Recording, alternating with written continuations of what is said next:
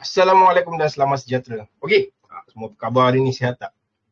Susah juga eh tengok keadaan market sekarang ni, especially untuk semua komoditi saya tengok boleh tahan juga dia punya dia punya movement tu. Ah, dia punya volatility dah start dah start apa dah start naik lah.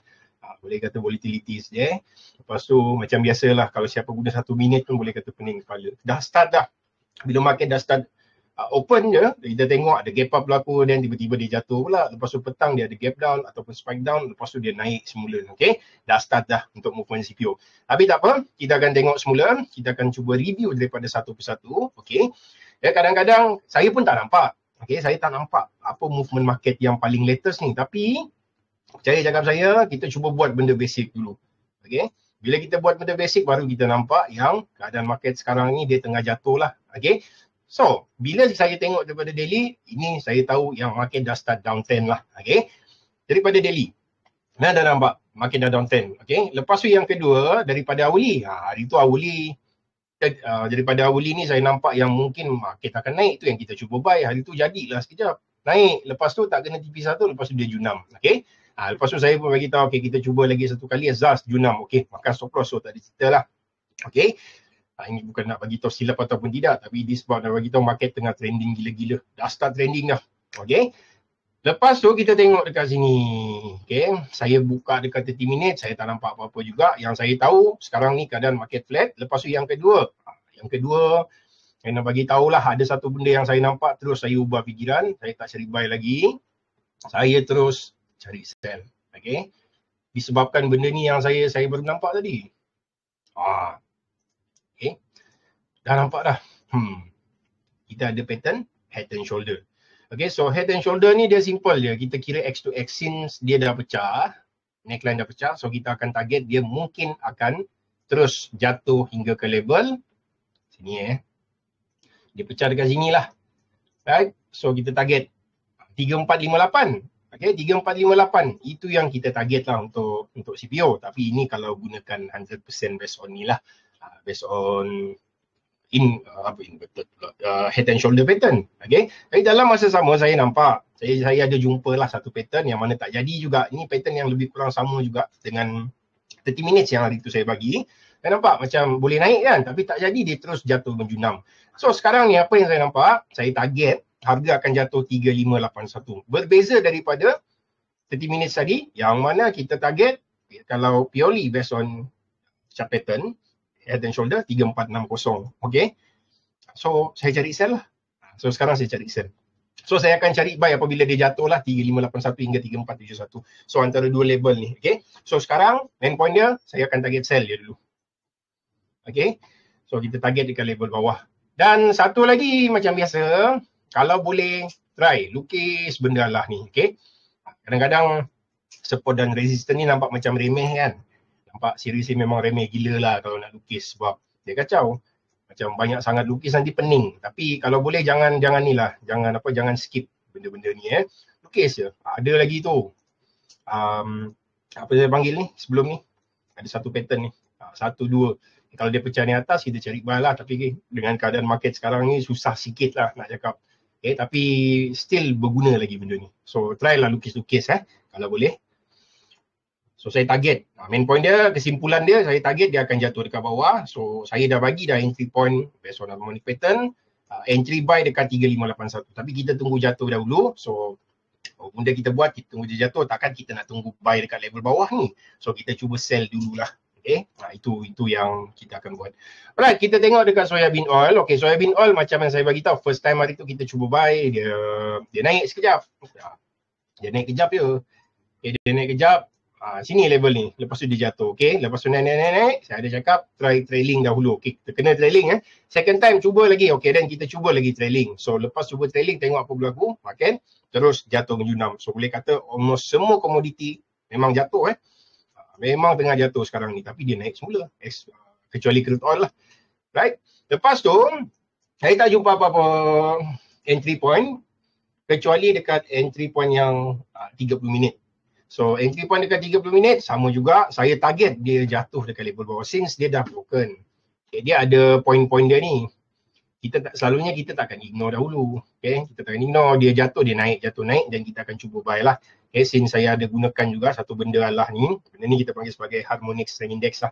So daripada HSI saya nampak dia dah start naik, dia dah start jatuh. Dalam proses nak jatuh. So itu yang kita target, dia akan jatuh sampai level bawah dan saya akan cuba buy dekat level bawah 5670 ni. Alright. Okay, lepas tu dekat rubber, ha, rubber bosan juga eh. Penat juga lah nak tunggu. Lama-lama sangat. Tapi dia dah start naik hari ni, dia dah start naik. Lepas tu stop loss saya ada bagi. Yang mana stop loss yang asal 127.2. Tapi saya ada letak dekat 126.9. Okay. Silap saya 126.9. Tengok semula daripada tengok semula daripada signal dalam group tu eh yang saya ada bagi. So, dalam masa sama saya ada nampak satu pattern dan saya anggap ni adalah channel pattern. So channel pattern dia dalam proses dia dah dekat level bawah ni kalau kena stop loss nanti kita cuba masuk breakout semula lah. Okay, tapi saya percaya dia akan naik sebab ini expectation dia akan naik tapi confirmation dia bila dia pecah ataupun dia dah break above daripada daripada apa channel ni. Okay, daripada resistance level. Then barulah confirm. Lepas tu sambil-sambil saya lukis, saya tengok dekat 30 minit, uh, dekat awali. Dekat awali nampak macam ada ending diagonal. Ending diagonal lah. Kita spesifik sikit chart pattern. Chart pattern ni kita panggil sebagai apa nama? falling wedge. Okay, so falling wedge memang indication yang market akan naik lah. So kita akan tengok nanti macam mana. Okay. Okay, lepas tu saya ada bagi hari ni untuk movement crude oil. Okay, so kita tengok dulu dekat crude oil. So dalam crude oil saya ada nampak pattern ni. Okay, yang ni pattern ending nampak apa rising wedge jugalah eh. So semua saya nampak ini tak jumpa apa-apa. Sampai saya tapi sekali 5 minit saya nampak ada satu pattern. Okay, so pattern lepas 5 minit dia memang cantik pasal apa? Sebab dia flat di dalam level entry point. Kalau dia flat dalam entry point, ah, kalau saya nampak memang saya saya expect dia akan pergilah. Ah, dia akan pergi sama ada atas ataupun bawah. Kalau kita sell sini makan stop loss makanlah. Tapi kalau dia jadi dia akan terus tunam eh. Jadi untuk potential profit, potential profit kalau kita sell sekarang ni, ini kalau siapa yang masuk ni lah, masuk big oil, boleh dapat almost berapa dolar ni? 1100 dolar juga tau. Tapi kalau siapa main micro crude oil, micro boleh kata potential profit dia sebanyak 110 dolar je lah. Okay, so test dulu kata benda ni. So saya nampak lah. Memang cantik level 8279. Sebenarnya stop loss 8294 tapi saya adjust lah ambil dekat previous high sebab dia dah dah, dah pecah atau dia dah breach lepas tu dia jatuh semua dia form new high. So inilah saya ambil sebagai saya punya cut loss dan saya anggap ini adalah sebagai TPB lah. Terminal price bar. Okay, untuk crude oil, pattern lain tak nampak lagi. Ini je dua saya nampak dekat 4 hour dengan 5 uh, minutes. Okay, right. Lepas tu kita tengok dekat uh, mini soybean dah makan stop loss ah yang yang saya bagi sebelum ni. Hari tu jadi sekejap. Jadi sekejap lepas tu dia naik kan. Lepas tu tiba-tiba gap down pula jatuh. Tak boleh buat apa-apa lah. Makan stop loss tetap loss lah. Itu yang saya nak bagi tahu. Right.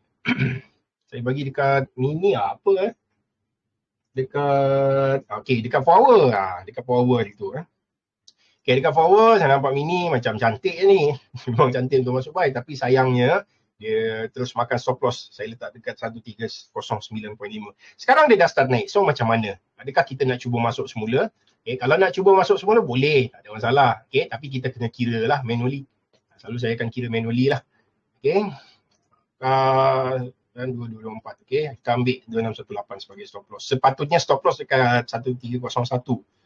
Dia apostrophe 7 eh.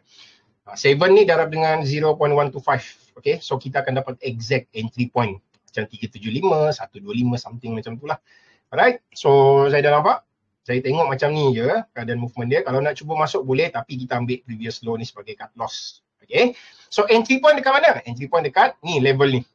1321, 1333, 1352.5. Okay. Dan kita kira juga potential loss dia berapa banyak kalau kita cuba lagi sekali. Kalau saya cuba sekali lagi, ya, 156 tick. 156 tick dalam 1.25 roughly dalam 195 dolar potential loss. Okay. So potential loss banyak 195. Cincai kira lah 200 lah. Okay, darab dengan 4.5 almost 900 ringgit. Okay, 9 ke 1000 lah. Tapi potential profit dia, ha, kita tengok sini, 600 tick. Okay. Uh, itu reason dia kenapa saya cakap kalau mini produk ni kalau boleh kita masuk kita hold lama lah. Okay. Lagi satu commission dia tu boleh tahan mahal juga. Ada yang PM saya tanya kenapa mahal tuan Charles? Masalah dia beza antara mini dengan micro hanya sebanyak 10% je kita punya cost. Itu yang saya nak bagi tahu. Itu yang kita tengok tak boleh nak masuk scalping untuk mendalah ni. Apa yang kita boleh buat kita hanya boleh uh, pegang swing saja. Okay. Okay kita tengok dekat mini con. Dia kita tengok con dulu. Okay, con saya ada bagi juga hari tu. Ha, ini con. View untuk con yang saya bagi sebelum ni, ini label entry point eh. Tekan 480.2450. Okay, 480.50 buy. Sekarang saya expect dia akan naik. Ada satu shark pattern tengah appear dekat dalam ni. Okay, dan target saya dekat 523. Okay, kalau dekat con, dia beza sikit. View sama eh. Ha, ni 169 tick. 170 lah darab dengan 12.5. Satu tick sama dengan 12.5 dolar. Okay, lagi mahal. Okay, beza daripada mini, kalau kita tengok mini, satu tick sama dengan 1.25. Itu yang kita cakap, kita cuba cuba, cuba ni lah. Kita cuba cuba hold lama lah ataupun kita swing lah. Itu untuk mini con ataupun mini mini apa-apa mini, mini produk lah. Crude oil, mini crude oil ke apa ke, sama je. Okay, itu target dia. Kalau kita tengok dekat dekat apa nama? Dekat micro ni. Dekat micro dekat mini tadi yang beacon sekarang ni kita tengok sini. Sama je. Beza dia dia tak ada beza. Saya bagi hari tu based on 60 minutes. So entry point dia. Okay? Ini 60 minutes punya entry point. Okay, kita tengok dulu dekat big tu sama je. Tak ada beza eh. Ini dekat mini. So saya target dia akan naik. Cuma target profit 522 lah dekat mini. Tapi kalau kita tengok dekat big 523 lebih kurang lah. Tak banyak beza pun sikit je eh. Right uh, saya ada bagi spread Oktober dengan Disember B dengan Z eh.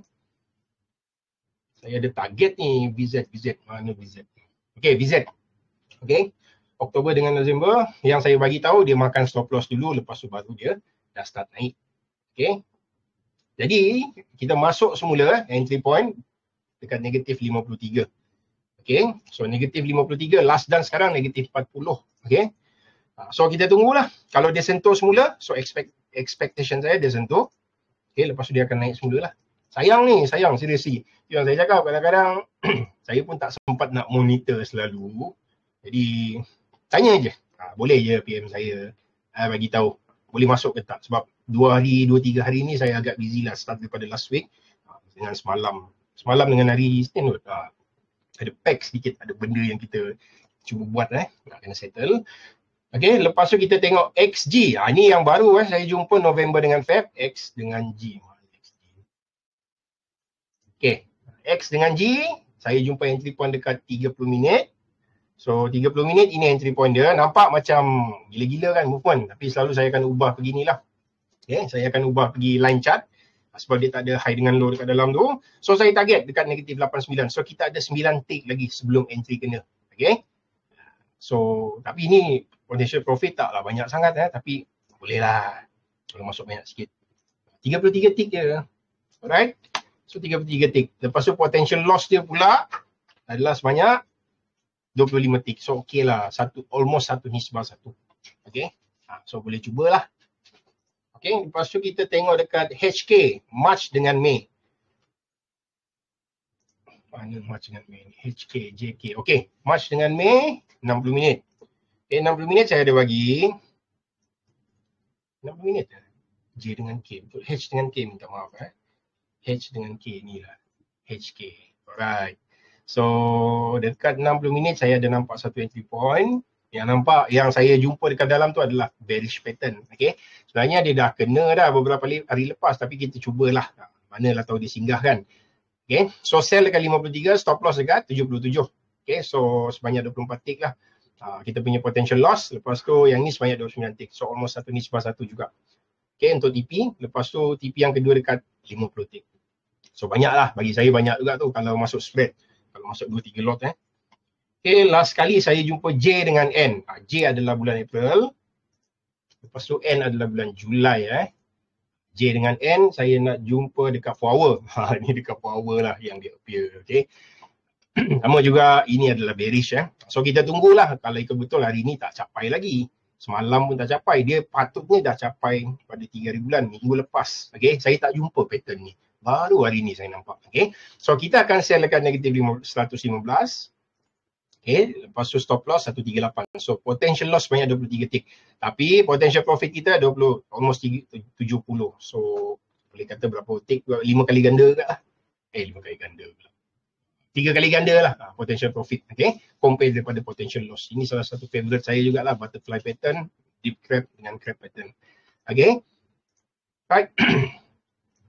Ah, itu je setakat ni untuk produk-produk yang saya cover. So insyaAllah kita jumpa lagi pada esok hari eh. Terima kasih untuk siapa yang join. Assalamualaikum dan selamat sejahtera semua.